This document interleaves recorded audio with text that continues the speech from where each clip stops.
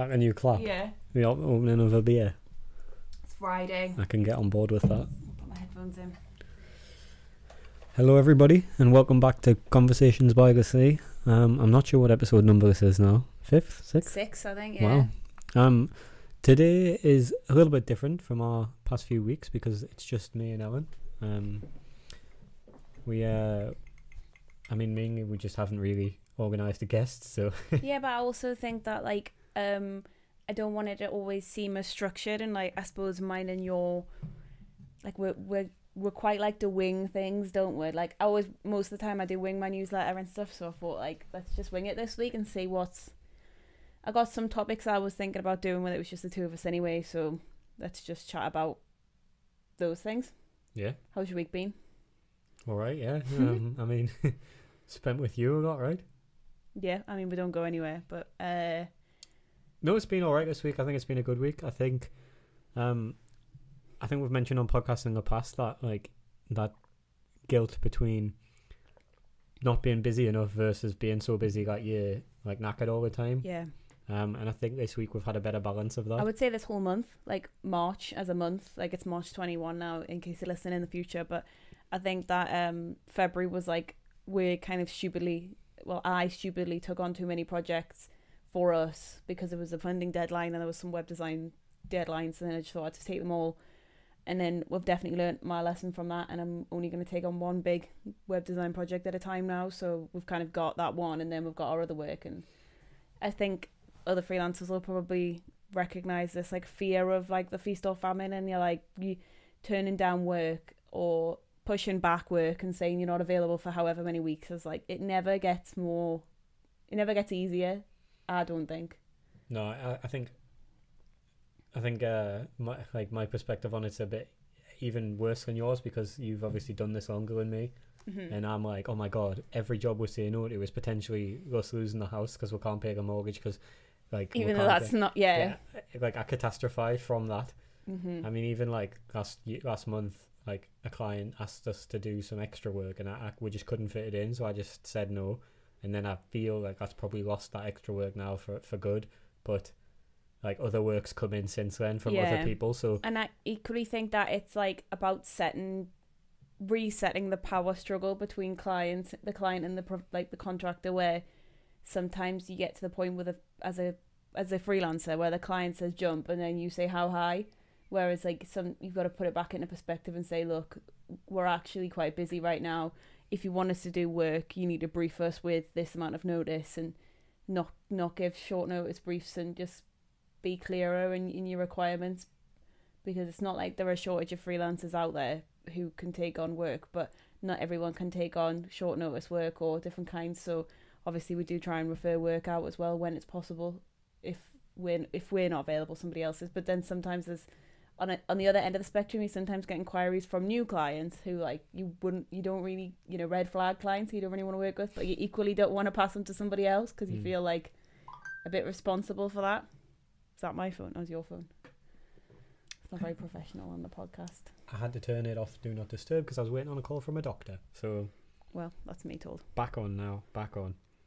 so anyway, this week I want to talk. Well, we can talk about whatever you want, but I was thinking we could talk a little bit about your um, previous amateur slash amateur prof- semi-professional mixed martial arts career Oh yeah, I guess so. Oh, yeah. because um, maybe people don't know who like don't know Craig in this context, but some people will only know Craig in this context. Um, Craig was uh, fighting MMA when I met him uh, eight years ago, and you before it was cool. Before Conor McGregor basically was around. Not before he was fighting, because he's older than you, isn't he? A little bit, Yeah, yeah. I think he was fighting then, but uh, but not in the UFC. he didn't really rise to prominence until just before. hmm I think I'd pretty much retired by the time he was in the UFC. Yeah. I say retired. It's not like I ever got anywhere near his level. it's not like uh, not like I'm comparing myself to him. But I just always say before it was cool because um, I think nowadays it's a much more accepted sport. And when I used to tell people I did it based on the fact that I was like quite a studious, um, like, you know, I wrote poetry and stuff like that, and people were always like, "What, cage like cage fighting?" Because that's you know people knew it. People didn't know what MMA meant then, and very few people even knew what the UFC was.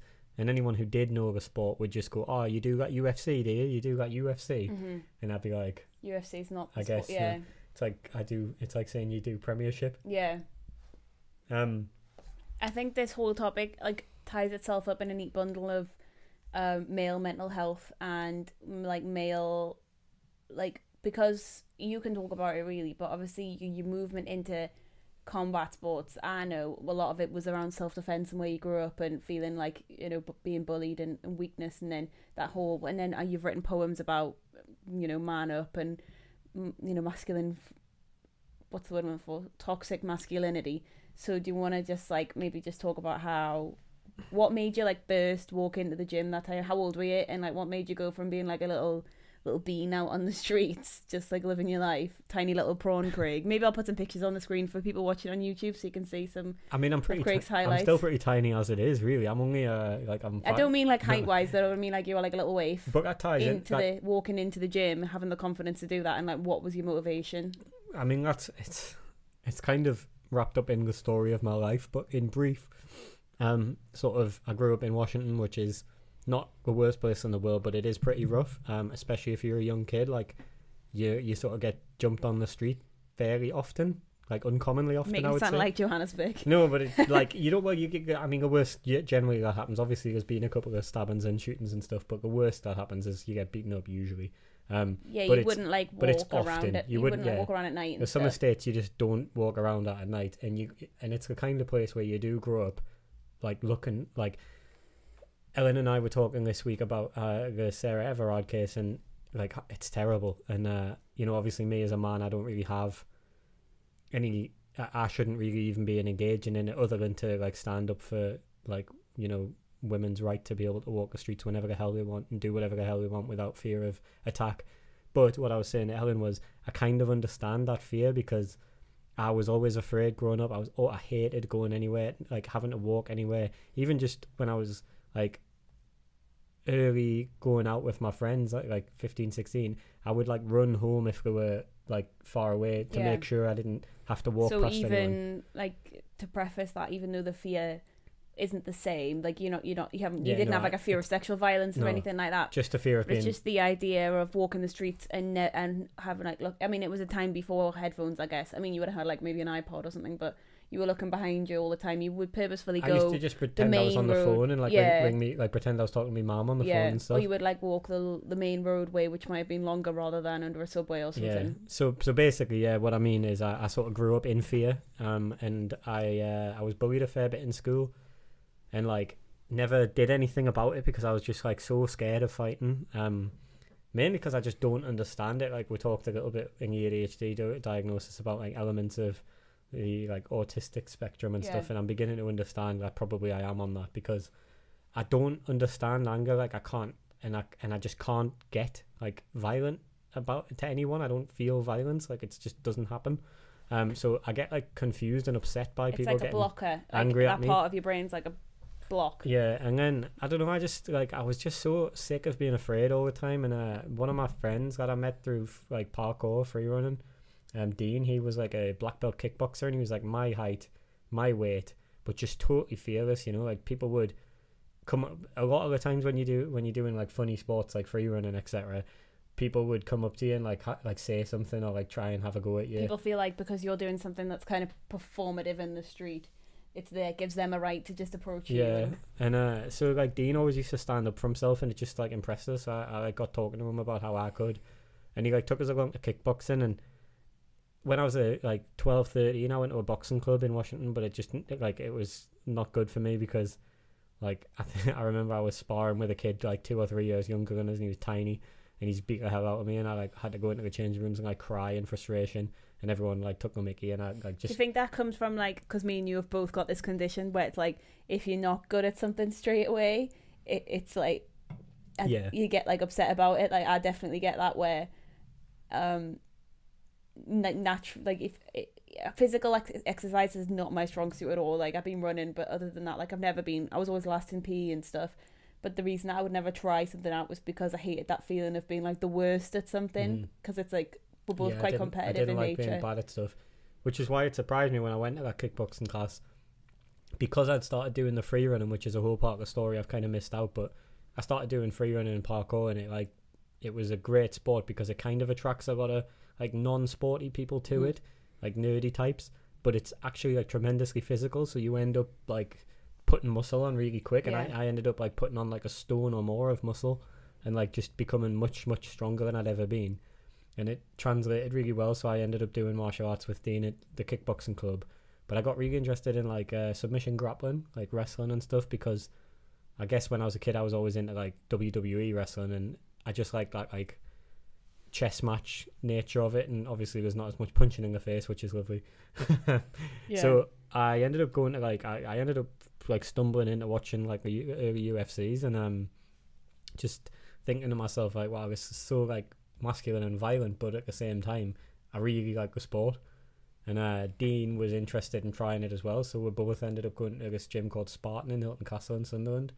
And I, I remember very well actually walking into it for the first time because it was this like small gym like out of a converted church. You walked in and like straight away you were into the like main bit and it had a little cage in it in the middle at the time it changed later but uh, it had a little small cage in the middle and like bags on the outside and then the back room was like the mma room um, and it was all matted out and i remember like the first session i did like the sweat from the previous session was like in the air like mist um, and like catching on the roof and dripping back down like oh rain and all the lads at the like big advanced MMA session were just like huge beasts.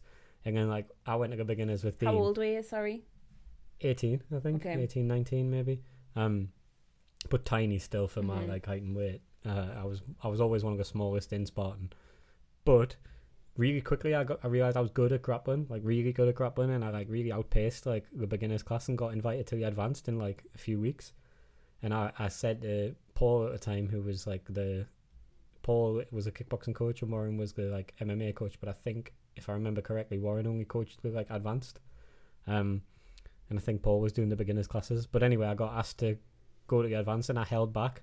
Like I asked to hold back until Dean could come with us because I just didn't want to step into that room of beasts without my friend. Uh, so I waited, and then me and Dean ended up in the advanced class. And to be honest, after that, I just never really looked back. Like I, uh, I just got into the routine, and like going back to the ADHD thing, I think it became like my special interest type of focus for so many years. Yeah. And you know, I just it was all I wanted to Not do. Not just the sport, but like the um, like not just the doing of the sport, but you've always been a keen follower of the sport as well. So Yeah. even now, when you you're not you, you call yourself retired or semi-retired or whatever, and I know you still train Muay Thai, but um, pretty much every day I see you checking like the MMA Reddit and like you know all yeah, it's the only sport I'm. It's, it's I'd say it's the only sport that I'm interested in. Really, other than like obviously I follow kickboxing, like combat sports is all I really follow. Um, I think what really surprised me was the camaraderie. Like Yeah, people often say, you know, like people often have this assumption that like, especially back then before like the Conor McGregor like popularization of it Mhm. and the Reebok deal that like standardized the uniforms. Back in the like back in the day, like cage fighting was like bald headed, tribal tattooed like nutcases. And there was people that looked like that in the gym, and they turned out to be some of the nicest people I've ever met yeah, like the, the bond of people in that gym was so strong at the time like it's it's a shame now looking back that we don't really see each other anymore. But the like because it was a relatively small gym as well the team was small. So Mhm. you know sometimes i'd be going to classes and there'd just be like eight of us or something with the coach. And you just end up performing like a family. And uh it was great for me because it was through kind of my formative years. Like i didn't it took me a while to kind of grow up. And i think between like probably i did the majority of my growing up during those mma days Mhm. between like 18 and 22 ish yeah, um, and then obviously, I, once I met Ellen, I sort of slowed down because I guess I did that traditional thing where you get comfortable with your girlfriend and you, you I think MMA requires like the level that I was trying to pursue at the time required enti- like total focus. You couldn't really do anything else. Like all I did was work in a little bar job um, for three days a week so that I could fund training four or five days a week and living with your parents. yeah, and stuff, lived with my parents. So there was no way I could have, unless I'd made it to the UFC, which was very unlikely because I was good, but I wasn't that good. Um, I don't think I could have ever really kept it training. So, uh, sorry to interrupt because you were going like too far into the future. I wanted to ask you about. Uh, well, first thing you obviously already touched on, like how you felt like you were it was the first time that you were faced with you couldn't misconception like your maybe inherent classism or misconceptions like about certain like you would see people on the street and you would maybe have made a judgment about them and then when you actually started becoming friends with those types of people you were like whoa they're actually like the best people that you can have on your side and now lots of them have got kids and families and wives and and you think you know you, even though you don't speak to them you still feel like that affinity with them. Yeah, and that I was like the first time where you were to- like you made like met people that outside of your circle I think I could reach out to any of them now and ask them for a favor, and they'd do it for us. And the same goes each way because you kind of, you know, when you sweat and bleed with people, mm-hmm. like literally bleed with people, you you you become like bonded in a way that's really hard to explain. Um, and I also think another part of the surprising aspect of it is that actually the people like the, the, the really like nasty people who assault people on the streets and stuff don't stay in sports like that yeah they can't they don't have the commitment so so what you get is maybe yeah the people maybe like look intimidating but actually the people that stay in martial arts tend to be you know creative like inquisitive smart really intelligent Mhm. people that stay in the sport for like different reasons than the to just be tough fraternity and Yeah. friendship do you think that on that note do you think that like the sport in itself it has a i would say has a better reputation now than it maybe did back then because it's seen as a more commercially viable sport. And you've got joe rogan's podcast and you know and people see that guy and think oh he's the you know past he, he still commentates on mma doesn't he? Mhm. and like people it's, it's more mainstream is what i'm saying but back then it seemed a bit underground. And then like do you think that where was i going with that? Oh you're kind of you were kind of there along from it going from underground to to mainstream and then like you've mentioned the Reebok deal when obviously fighters win a lot have their own sponsorships after that and you know the big Conor McGregor kind of turning point where he became would you say would you agree that that was like his kind of he kind of became this godlike figure and what what did you did you feel like things changed in the gym during that time? Like do you feel like people started coming to the gym thinking that they could give it a go or or was it still very much like a time what's the word like a like time warp inside Well, of Spartan to be honest i think i stopped training in like maybe like 2016-ish at spartan hmm um, because I like when I when I'd got that earlier. I I mentioned like meeting Ellen was a slowdown in training, but that wasn't why I stopped or anything. of course not. Uh, I would never blame you for that. It was that uh, like once I got a full time career in marketing, I just didn't have the you, hunger you had anymore. jobs in different locations as well where at one point you were working in Cramlett and living in Gosforth and the gym was in Sunderland Sunderland, and it was really difficult it would for take you up yeah my whole day. Um, but so I I probably stopped like when that like wave of popularity really began. Um, I'd kind of stopped from then. Would it, you know like early on? I I I think 2015 ish. I think Conor had had a few fights in the UFC and he was already starting to like pick up loads of pace. And yeah, we're seeing like newer people, but I think that the difference now is that like you see so much more opportunity for fighters in like there's I feel like there's way more like good level organizations to get into it at a grassroots level like Mhm. in the UK and for northeast fighters whereas back then you kind of had your local shows you had the UFC which was like super hard to get into and you could only get in through like that reality show that they did the ultimate fighter yeah and like if you were scouted.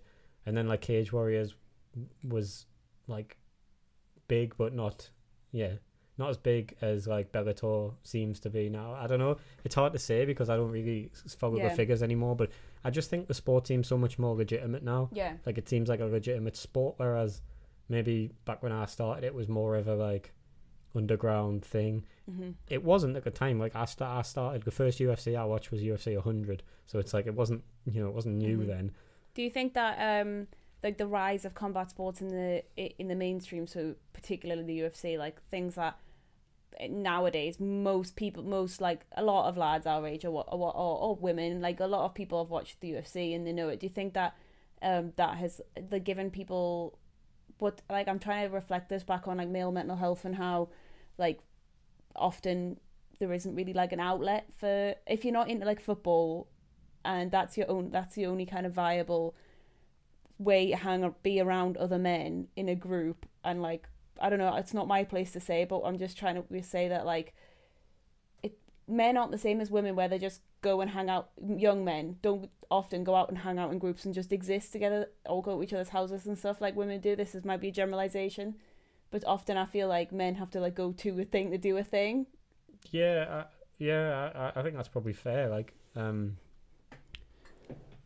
and then also the vi- like the violence aspect because at the end of the day it is a violent sport even you know it's a combat sport even if it's not even if you know people it's not as violent as boxing it still involves hitting people and there's still blood it's funny though because I don't I don't think that it's violent, but like I think violence happens as a result of the like the sport, but it's not like a I don't know. I don't think like no no like high level MMA fighter wins because they're violent. Like they, it's not about that. It's about like being just better at what you do than your but opponent. you can't like- ignore the like the head injuries and stuff Uh, It's dangerous, is I guess is a dangerous is a better is a better word I yeah. I I mean, yeah, it, it- you're right. In some ways, it is violent, but it's not. I don't think that the sport's about violence. Um, is what I'm trying to say. hmm And like, I was never violent ever, and like even my first fight.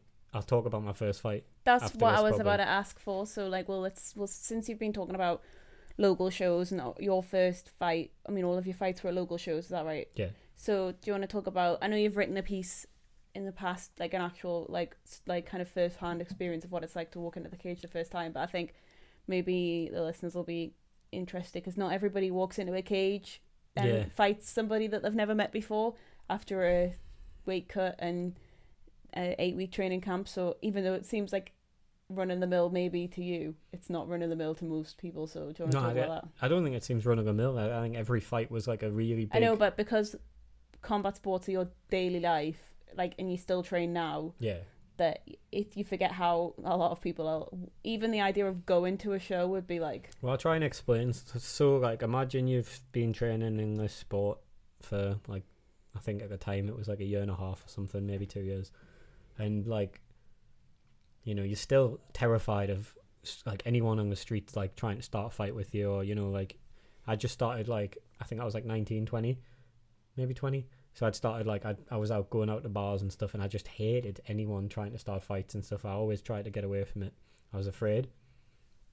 And then I was out. you were afraid of getting like embroiled in a fight, or you were afraid of Fight. having to defend. Like, what was your like fear? No, getting getting embroiled in a fight. Like I always just think like I don't really attach any logic to like what will happen. I just don't want to get involved in fights. yeah. I hate it. Okay, I think it's probably a good segue now to talk about your first fight. So, Yeah, right. So, so right. I'd been training for like two years at the time, and I was sitting. I remember really well. I was sitting in a uh, Indian take like an Indian restaurant with my mom and uh, girlfriend at the time, and uh, I had a was it Concord Tandoori? no, it wasn't. It was uh, the last days of the garage on Low Fell. Oh right, yeah. And, uh, and I was, I got a, I had a text off me on my phone off my coach saying, "You want to fight?" Uh, you want to fight? and I was like, just to remember, like the, the panic. You know, you know that like fight or flight response feeling where just your stomach drops out, and I was just like, Need the toilet. and I ended up, I just like walked out and rang him, and I was like, "Yeah, I do, yeah." But I'm like, "Do you think I'm ready?" And he was like, "Of course you are, yeah, definitely." And I was like, "Oh my god." So it- it was at an event at the time that was called I can't. It had two names, and I can't remember which one it was when I fought, but it used to either Is it be on called YouTube? That one. no, No. Facebook.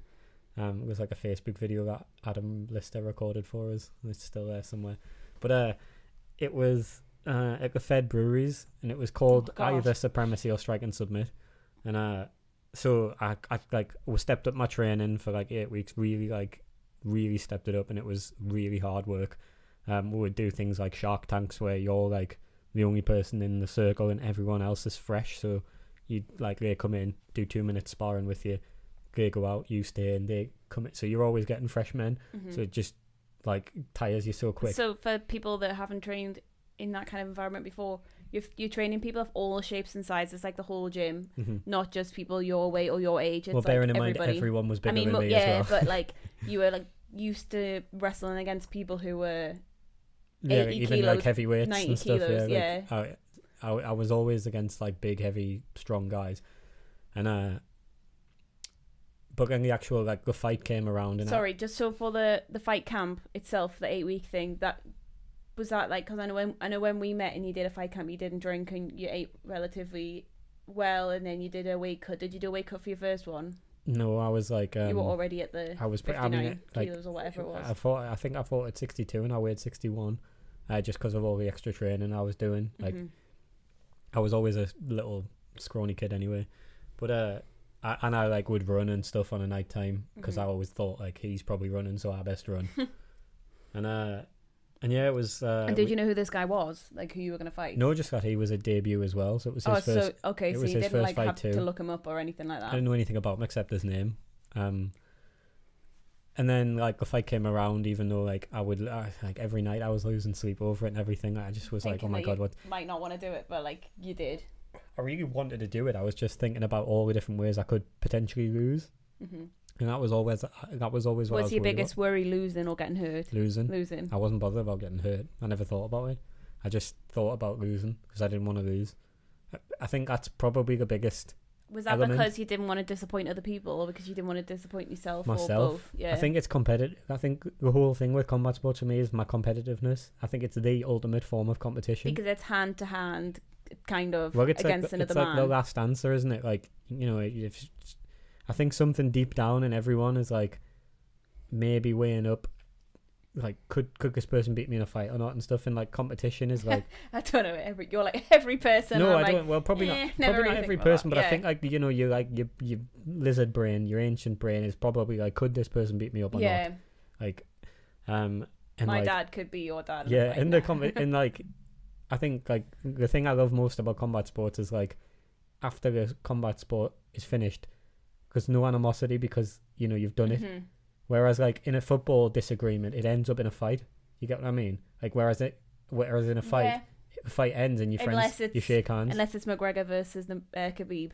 yeah unless it's something like that yeah but that went way beyond that was stupid that, like the stuff he was saying into about the crowd was and stuff. ridiculous Yeah, um the stuff Conor was saying about Khabib. You mean? Yeah, it was just like I mean it was racist really. Uh, but anyway, the uh, I'm just now we're gonna get like No, we'll get. Yeah, we'll get any any like any fans McGregor are fans will like, come and be like. "Hey, you don't even like." But uh, Anyway, uh, so yeah, you're walking out. Uh, you, I, you well your yeah, we went on. well we went to the event. The, Okay. like, the, the, the place and like the Federation Breweries is like a well an old brewery and then there's like a Lancastrian suite in, inside of it and it's like a sort of old like social clubby type of you place. get like white collar boxing fights Yeah. and stuff there. so I went in and I was like I went in earlier you in the day. Uh, Talking about fighting, cut a bit of my thumb off. Um, just blood your thumb yeah and i uh i'm just trying to picture it again like went in and i was by myself at the time because it was just for the weigh-ins hmm and like no one had made it yet so i just went in and did my weigh And you weigh in on the same day. and i saw my opponent Is that right? uh, and, and he was like smaller than me but like bigger i thought like hencher Wider. and i just and he looked like the kind of kid that would have beaten us up on the street and i Mhm. remember just being like terrified of him and then i realized like i i think i like realized at one point like he was looking at me and i was like he's scared of me hmm and I remember just being like so per- perplexed by that because I've never had like I just never thought like someone would ever. And I was like, oh, he's just as frightened as I am. Yeah. And uh, and then like my coach ended up coming and we like he took a look at him and he was like, because I text my coach. I remember I text my coach saying like, oh my god, Warren, he's like a little mini Hulk or something. I'm scared. and then uh, like when Warren came, he was like, you you must be blind or something. This is gonna be easy. And uh. And then we went backstage and started warming up. And at the time, I was, I think I was uh, fighting alongside a, a teammate. Um, can't remember if this was the same fight, but anyway, I didn't, I didn't warm up alone. I was like warming up and that, and I just remember being like sick with nerves, and I was like, oh my god, this is so terrifying. And you're warming Did you up have like, any like friends or family come with that one? no, I always, I think every fight I always told my family not to come, and Mhm. uh, friends wise, I just had like people from the gym. I didn't really want anyone to come and see us lose. I wanted Mhm. to like see how I was first, but uh, because of like the parkour thing, I had loads of people watching online. It was getting streamed online, Wow. which back then, I was gonna say, I like, know, yeah, not ten many- years ago. yeah, not nearly. not many people were uh, doing that back then, and and even since. Uh, other events never really managed to get it done Mhm. that well. Whereas that one event, our first fight event, they streamed it really well online.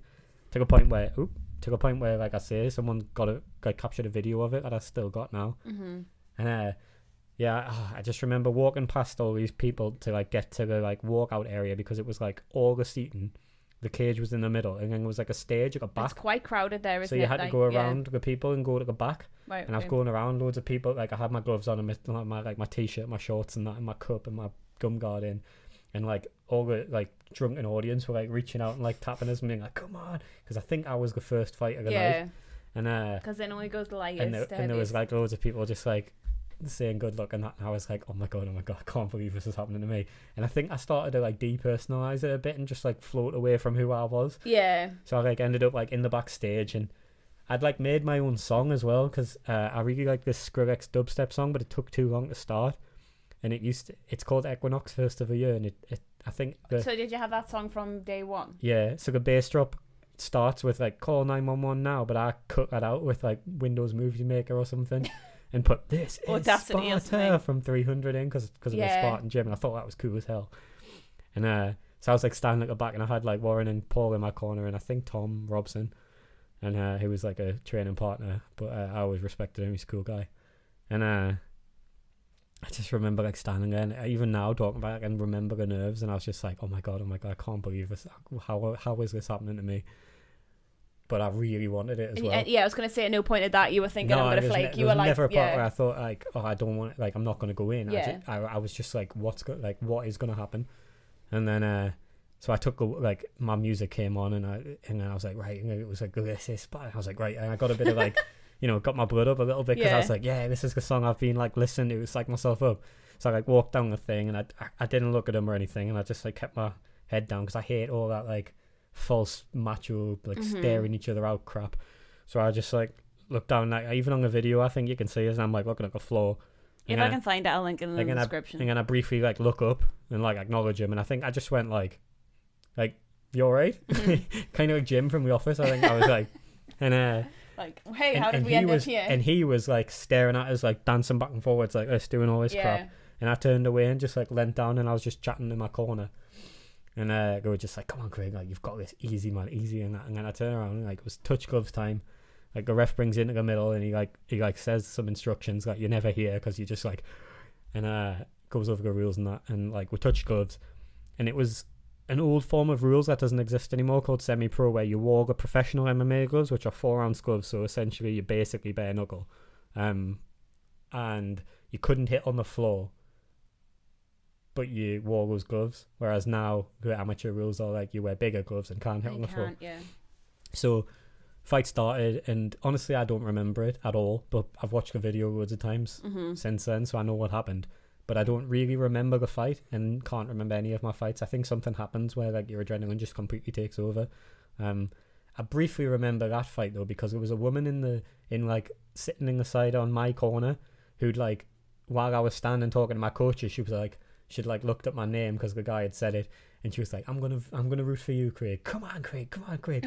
and she and she'd, And she was, just said didn't know you, but she was but like she'd shouting. said, but she'd said something like, "Oh, like, like he looks nice. Like let's root for him." Because I obviously like was just some guy, and then this other guy was like angry and that, and I was like, Well, was you were just a boy, really. You I weren't even like a guy. much. You were just a, like Yeah. a, really I had like my head boy, shaved as well, but not like not bald, but like you know, I just had that like young Yeah. look about us. And then uh, I went out and touched gloves, and then I just, uh, I think we started, and he like threw a couple of like big. I could tell he was dead nervous, and he threw like a big overhand right, and I like Mhm. blocked it and hit him, and I just th- remember thinking like, oh, oh that was This easy. is just what I've been training yeah, for. for that the was last- easy. Yeah. And, and then he was smaller than me, which is a novelty really, because I'm pretty short. Mhm. Uh, so I like threw a head kick to try and just like see how that would work, and it hit him. And I didn't expect that either, and I remember being like surprised by hitting him and feeling a bit bad about it. But it only you're supposed to hit with a shin in it. I just slapped him with my foot, and then I like rest like we ended up. He he tried to take me down, hmm and I like grabbed a hold of him, took him down instead, and then like wrestled him into a submission, and he tapped out. And uh, I was just so happy, like the relief that like washed over us and like How long did the fight last? Like a minute or something, not Mhm. not very long. And uh, it was great, and and like everyone was just like, you know, you had the like ring girls coming in for the photos and like all this stuff, and like everyone's cheering for you, and it's just like the ultimate feeling in the world.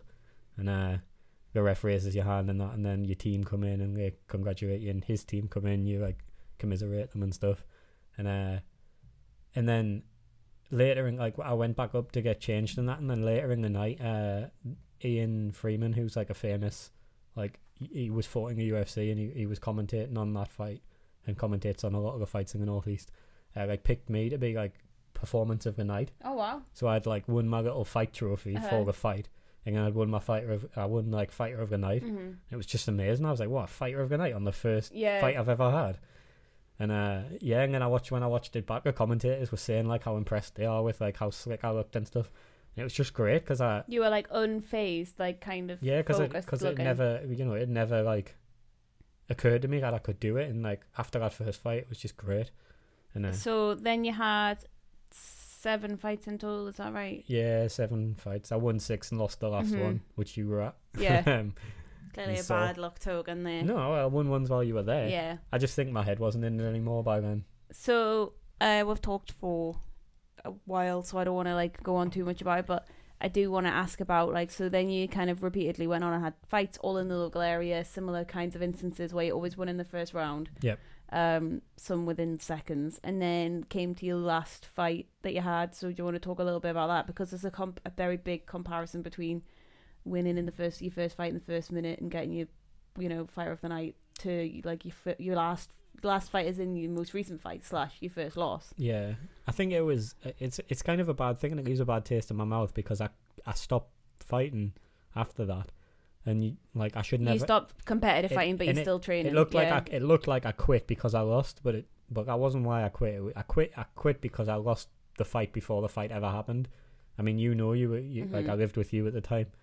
Um, by then, I, like me and Ellen had moved in together, and like she said, that, that that was when I was working in Cramlington, driving back down to the gym in uh, Sunderland, and then driving home to Gosforth. So like hmm my day would start at like seven and finish at like ten at night when I got home, and like all I would do is work and train.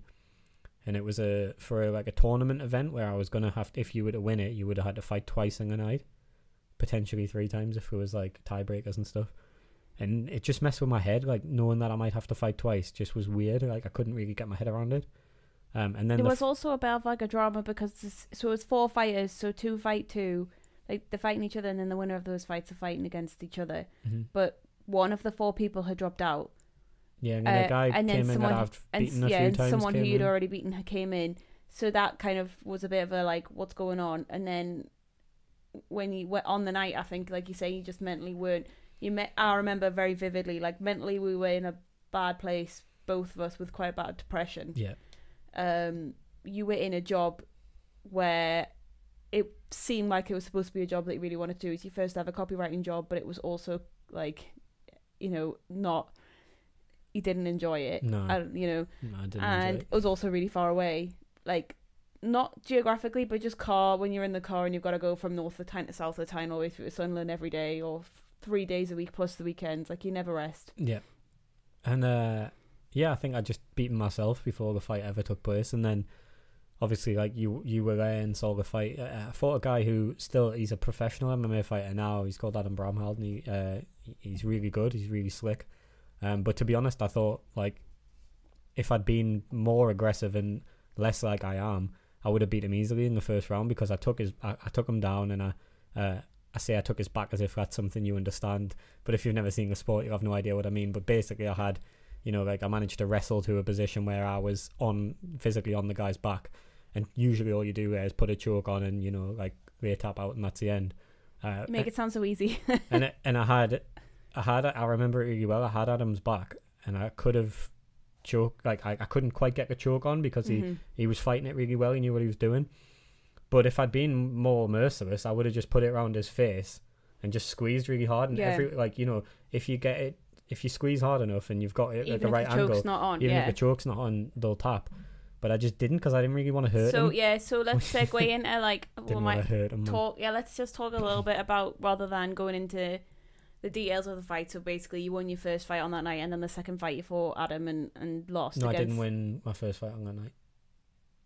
Oh no, sorry. was the yeah, yeah. Adam was the first. Yeah, Fought and then. Adam went on to fight um Aiden. and- Aiden, and then Aiden won. Yeah, So um, what I was gonna say is that like obviously in in order to be somebody who's successful at combat sports, you have to deal with the fact that you are causing pain to somebody else. Like you are hurting somebody else, even if it's in a con- really controlled environment and the ambulance guys are there and you're doing stuff that's gonna heal within days.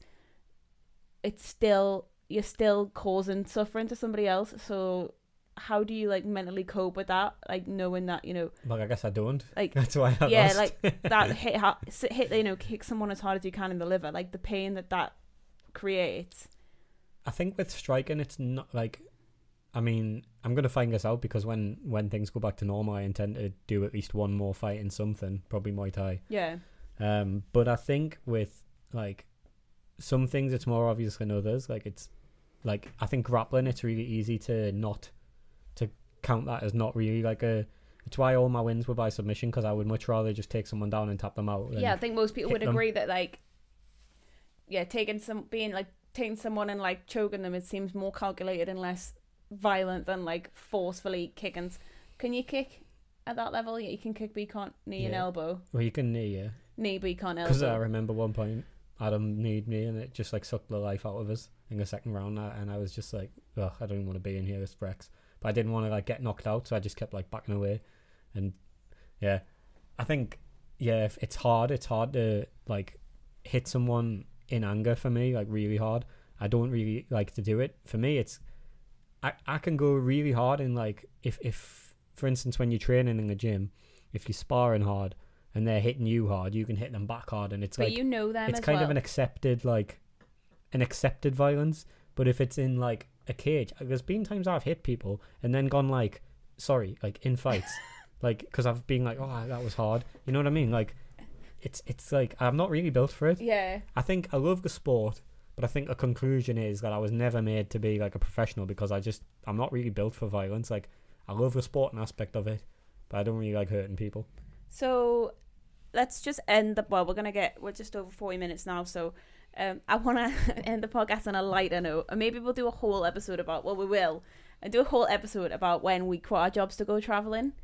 And um so back in 28 2018 we quit our jobs um in June, flew to Thailand, one way ticket in July, and we spent six six months traveling Southeast Asia and then we did Australia for a bit and um obviously we've talked about what happened in Australia and how I came home, but want to talk about when we were in Thailand. This is just a much lighter note. So Craig hadn't fought hadn't fought competitively for a few a good few years. When was your last one? 2016, so two years. 2015, I think. 2015, three years. But you had been training, but then obviously you were in spent six months in Thailand, and then you weren't training. We were just drinking every day in Southeast Asia, drinking the not Bintang. Hi Potter Okay. um what was the beer in Thailand? Chang. Drinking Chang, um, cocktails, just sitting on the beach, eating dragon fruit, living our lives. And then we went to a very popular kind of party island called Koh Phi Phi, which you've probably been to if you've been to Thailand, because it's like everyone's been to Koh Phi Phi. Um, just between Phuket and Lanta. And oh, Harmony's here as well. Everyone's coming in. And in Phi there is a um, combat, like what is it? It's like a Thai boxing It's bar. like a, yeah, it's like a Thai boxing bar. It's called Reggae Reggae Bar, I think, and uh, something like that. Is Reggae- it? Yeah, yeah, and uh, it's quite famous for like because like you get loads of like fucking drunk people. So basically, you can fight anybody else. Anyone can fight anybody. In, it's a ridiculous concept. I don't know in how it works. in, really. there's a there's a boxing ring in the middle of the bar, and there's a guy that's claiming to be the referee, and people can just fight each other in the bar, and everyone else just stands and watches. and you win a bucket of alcohol. And you win a big bucket of alcohol if you win the fight. There's no, just for doing the fight. oh just for doing Yeah. it. There's not really any uh, health and safety. There's no first aiders. There's no like situation where like, No, I it's really stupid. You'd have to be stupid to fight there. you would have to yeah. So we're in there. so Craig's anyway, I Craig's- there. Craig's getting like there's actually a video of it on YouTube, so I'll link that below. Okay, so you're in this bar in um Koh Phi Phi and kind of knew that this was like a thing you had your eye on because this is you've obviously brought us to this bar for a reason. Well, I and wanted to see what it was about. and Like, it's loads of drunken tourists fighting each other, and like the thing is that technically it, it's for like technically you can Thai, you can fight Thai rules or Thai boxing, you know, like like kicking and punching, but everyone's only punching because it's mostly Europeans.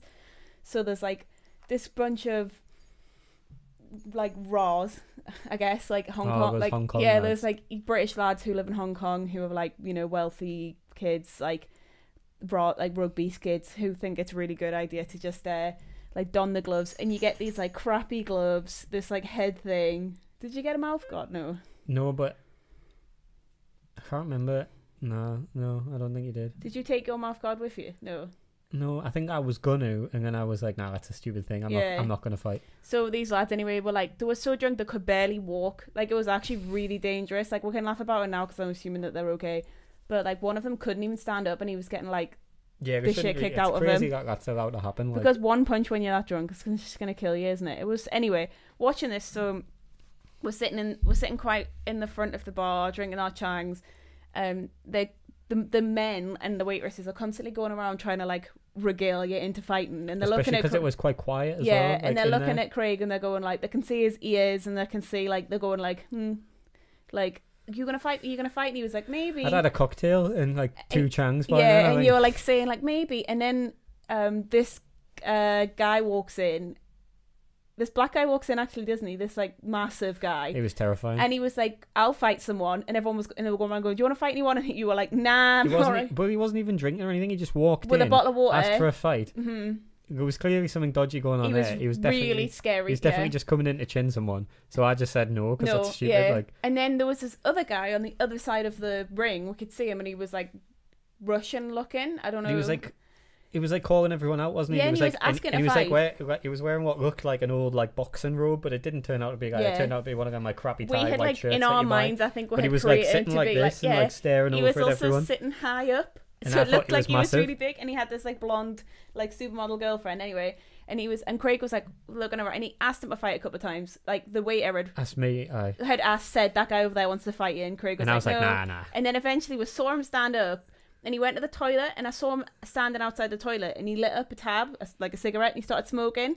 And he was same height as Craig and skinny. And I was like, yeah. I was like, and Craig was like, I'll fight him. As soon as we seen him light up a tab, It was were like, almost like, as soon as the cigarette was lit, I was like, all right, okay. yeah. And he realised that he wasn't massive. So, and he went to the loo, he came back out and he was like, oh, that kid will fight you. And then you, before, before like he ran, within he, he- seconds, he came up to us straight away and like dr- like obviously backed down because he was like he, he didn't he go, have you, have you he was trained like oh before? if you trained before and I was just honest I was like yeah for years and he was like oh I I, I never have never and then we got into but why is he in a bar in Thailand challenging people? oh well he's totally lying anyway I know that, but he was like challenging people to fights and then being like, "I've never trained." I'm like, mm, "All right, okay." again we got into the ring and like obviously they And make you put this, all like, this horrible crappy, old dirty, like people's like- gear on yeah, no yeah. groin guard or Yeah, anything which is terrifying and like no gum shield And there's no rules because it's not headgear clear. which is the worst it's not clear if it's like boxing or Thai boxing. If it's meant to be Thai boxing. yeah we don't tell you we don't tell you what you can what do you or can do. Yeah, but uh, anyway it was nice because it was like it was nice. Well, in the end, it was it was like the most comfortable fight I've had because one, I'd had a couple of beers, so I was just chill. Two, I knew for a fact that I could beat him. hmm And three, I agreed with him beforehand because I could tell how scared he was. That like, even though he was calling everyone out, so I don't know. It was a bit of an Uh, exhibition but, fight. but like, I just yeah. said to him like, Well, it look, I'm not gonna, exhibition I'm just yeah. gonna hit you as hard as you hit me. So just do whatever you want, and like, you know, I'm not gonna go wild. And then everything, like when I hit him, I would back off. Mhm. But all I did was I just kept putting like, But because we'd all just sat through those absolute idiots, idiot Englishmen, like born in uh, like born in England, raised in Hong Kong, like those kids fighting each other and just doing such a terrible job of it. The car- the crowd were like super excited to see people who could actually yeah. hold a So, stance. ki- so he said he couldn't, he'd never trained, but then he was like fighting us in a kickboxing stance and throwing kicks and spinning back fists and Mhm. stuff. So he knew exactly what he was doing. Um, but yeah, I remember just like, just like hitting him and then backing away and like nodding at him and being like, all right, like, like. It was fine, I. It was good. I, I, I just remember like It was just giving the crowd I just what they like wanted, I just it? kept repeatedly like kicking him, and then by like the, the last kick in the last like the said there were going to be three one minute rounds or something, and then in the end, like when Ellen watched the video back, or she recorded it, they were like leaving the rounds on for like five minutes each Yeah, or the something. video's So, actually like, quite long. You can so, like, like, skip through. clearly, like yeah. they, they must have like, but I it was funny. It was a funny old uh, thing that. So yeah, sorry, sorry, mom, that I did that because that was a very stupid I thing feel to like do. that night would like gotten and like rang your mum being like, "Hey, this just happened." Oh no, I don't think anyone knew it happened until I put the video up on YouTube because we were like vlogging the whole trip. And then I put wouldn't have done it had you not looked at me that night and been like, yeah, you easily. Well, could do that's kind of like now you're trying to shift the blame No, on me no, no, because no, if you like- beat the shit out no, of I, you, want, have been my I fault. wanted to do it, but like I think you having the confidence in me to just do it as well, and like we were both. I remember when I came back to the court because you were like in my court, like you were like there, and I like came back to the corner Yeah. after the first round, and someone was saying something to Oh you. yes! Oh, as soon as like the fir- Craig went up there, there's like a lady next to me with like like a partner, and like obviously it was a tourist spot. There's no Thai people in this place except the people that work there. It's like a total tourist trap. And this woman was like, like, "Is he good? Will he win?" I was like, "Yeah," like because obviously I'd sat through I'd been to two of your fights in person here in England, and then I'd also been seeing the other ones on YouTube, and like this was, and you had like I, I it it was like the equivalent of somebody. I know you weren't a professional fighter, but it was a bar where people were going in and just being like, hey, hey, and then you were just like going up there, and I was like, he's gonna be fine, unless this kid turns out to be, Yeah. you know, like a real life. You, you fight. I mean, I didn't person. underestimate the kid because at the end of the day, if you're sitting in a bar and calling people out Yeah. for fights, you must know something that other people don't. Because I And would, also- I would never have called anyone out It- in that bar. I think the other thing that put us off at first, because I guess it was a joint decision, because if I had said no, you wouldn't have fought. But um, was that he wasn't drinking? I don't think. no, he wasn't. He didn't drink. And I talked um, because because I asked because we were talking about it just before we fought, and he was like, "Oh, I don't drink," and I and I was like, "Oh, well, can I have your bucket when you when you finish?" and he was like, "Yeah, yeah," and he never gave us a good dick. I think he gave it to his last. I never. but did. it was when we seen him smoking that was when we thought, oh well, like I suppose he couldn't. In my in our minds, he wasn't any kind of serious athlete if he was smoking. Not that obviously, if anyone. Not that I was considering I had like three or four beers. Yeah, I know that was so like judgmental of us to say that when we were sitting there drinking beer, and we had drank beer like every night for the last three months because it was our sec. Was it? Oh no, it was our first ride around, first tour around Thailand, but like well into the first one. So I guess Yeah. it was like August time. Anyway, whatever date's on the video. So yeah, uh, I mean that was that was uh, that was that. But do you want to end on um? I've actually talked longer than I thought would anybody who wants to anyone who's listening male or female who would like to get into combat sports and feels like it's a sort of thing that they feel like they've got stuff you know i feel like if you've got something to get out of your system or you want to do a communal um sport activity you want to do something recreational where you're using your body you know once lockdown is lifted and you feel like joining a club what would you say to somebody who is looking to join which like you know any kind of martial arts dive in. Yeah, it's uh, it's it's really intimidating at first, but you'll find that almost every martial arts gym is just so nice and, and also welcoming. if it, if it doesn't feel welcoming there's another there's you know yeah, there's, penny there's, there's plenty of them. You know, if you if you don't click at the first one in a few weeks, just go somewhere else. Uh, I'd say if you're concerned about being hit, do like a grappling based sport. Brazilian Jiu Jitsu is, in my opinion, the best. Um, and if you like hitting things, Muay Thai is the best. And if you like doing everything, do MMA. But uh, don't be intimidated by any of the sports because everyone starts off frightened of them, and you know, like nobody walks into the gym first thinking that they're a world beater, and those that do don't last. So, yeah, just uh, just have a go. Like it defi- it helped define my growth as a person, and uh, so helped would you me. say that it had a really positive impact on your mental health hundred percent. Yeah, I don't think I could have been who I am now without it. Um, I'm still scared of like being start Watch. like fights in the street and stuff. I still avoid it, any kind of conflict, but just like the strength of character it gives you, um, doing that kind of thing is really important, and the camaraderie as well is like a special thing that you only experience when you join a gym like that. Shout out to uh, Spartan, Origin, and uh, Allegiance the gyms I've trained at over the years, and also Legacy in uh, Sydney. i was gonna say can't miss out legacy Yeah, that was a good bunch of gear. so guys. that's it from us this week i guess unless you got anything else you want to add I know the irony of us talking about martial arts while drinking beer well it's Lock- lockdown lockdown in it. So um that was I think that was just like I know it wasn't strictly related to freelancing or work, but I do think it had like a good mental health angle and also something that maybe people are curious about. If you're not, you can also at the end of this video I'll link some other videos that you might be more interested in around we've talked about um bullying and harassment with Lauren, we talked about um bereavement and grief with Katie, all sorts of topics. Yeah, I think it was just a bit of a. A bit of Yeah. a fun one. I think if you're going to talk about my freelancing and my business like progression, I would never have been who I am without. The confidence. Yeah, so it is important. Like Mhm. having, I think any any sport that can give you confidence helps your professional life as well. Mm-hmm. That's that's what I have to say on That's it from us. So we'll see you next week. Bye. Bye.